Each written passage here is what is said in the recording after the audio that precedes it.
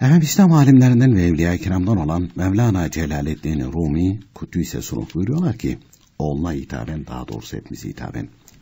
Ey oğlum sana vasiyet ediyorum ki her halde ilim, edep ve takva üzerine bulun. Her zaman geçmiş din büyüklerinin eserlerini inceleyerek ehl sünnet ve cemaat yolundan ayrılmamayı vazife edin. Fıkıh ve hadis-i şerif öğren, cahil sofulardan olma buyuruyor Mevlana Celaleddin Rumi Kuddise Suru.